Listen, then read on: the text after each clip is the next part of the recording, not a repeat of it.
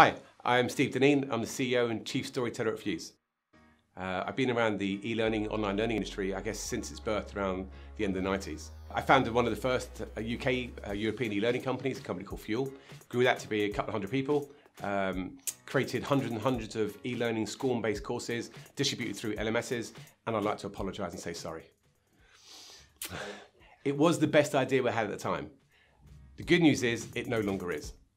And I, I guess the, the question we often get asked is, you know, why did LMSs fail and why we moved so aggressively uh, away from the concepts around those? And when we say fail, I mean, if you look at, uh, I guess, a piece of research done from the Human Capital Institute, it, it was a research done on 500, 500 learning professionals where the net promoter score on LMSs across the board of all of them was a negative minus 33%. So that's a pretty damning statement, I guess, across the concepts of the LMSs you know, as, a, as a learning tool.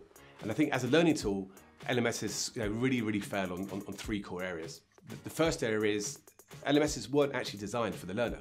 They're designed for the learning administrator. They're designed for the people who want to track and, and report on what learning is going on. It's a little bit like saying, you know, Facebook or YouTube were first designed as a, a um, as an analytics tool first, and then they tried to figure out how do you create user engagement and social networking. It's kind of a, a crazy place to start, and, and, that's kind of what happened in LMSs. They were created as decent reporting tracking systems, but their secondary audience, by a long shot, is the user. Therefore, the whole journey to get to content and create a, learn, a great learning experience is an afterthought. Um, in, in line with that, and I think the second big, biggest reason is the digital content that's at the heart of an LMS, which is SCORM. So SCORM was a standard that was created by the US DoD, the American Department of Defense, uh, in 1999. So four or five years before YouTube and Facebook were created. And, and that standard, what it allowed in concepts is allowed any content organization to take uh, any amount of content and put a piece of bubble wrap around it, and that bubble wrap called SCORM, and that bubble wrap then allows that content to be launched and to be tracked um, from one LMS to another. So in concept, it was really useful from a tracking side. But again, from a learner perspective, it it's, it's wasn't really considered. So what you're now doing is you're putting that content um, inside this bubble wrap, which means anytime you got to get to that content, you've got to get into the bubble wrap. So we know from people like Professor Ebbinghaus, you know, 100 years ago who did research that shows that people forget 50% of what they learn within an hour and 80% within a month if they don't use it. So the concept of then making the, the content hard to, uh, hard to access and extremely inaccessible is you put a barrier there. So learner statistics and data statistics shows that less than 1% of content within SCORM, within this bubble wrap, is gone back to after learning. So that's a huge, huge problem from a learning efficacy perspective. You're basically saying that we know people are going to forget, and actually we're putting the barrier to get back to it as too hard because you've got to remember which course the content is in. You have to search for that, browse that, launch the content, and then look inside that to get to it, and we don't. So, and that's the reason why it's not being used. So that's, I think, the, the second big reason. The third big reason is, again, it's around the whole content strategy. So LMSs are not content management systems. All the content creation and the, and the content management sits outside the LMS. So take an example of one bank, it has 80 plus versions of its anti-money laundering course.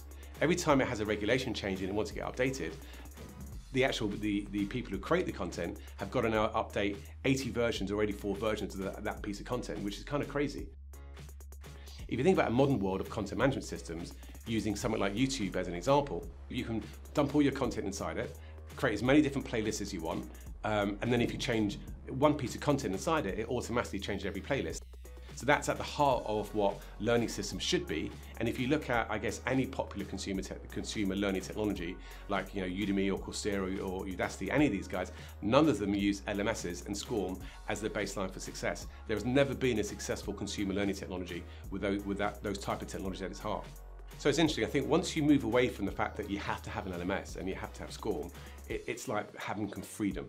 You know, it's like, I guess, the it's like, you know, 1492 and the Mayflower landing on the States and, and actually all that opportunity of, of the new world opening up to you. Exactly the same. You know, you look at all the technologies, concepts that are available to us, all the amazing little startup companies with really cool bits of technology. Uh, you look at inspiration from people like Facebook and YouTube and LinkedIn and Twitter and WhatsApp, and all the concepts that those technologies are based on are now open to use. All the things you couldn't use before because the standard said you can't, you now can design whatever type of learning experiences you want inspired by anything that's innovative or anything that's come on.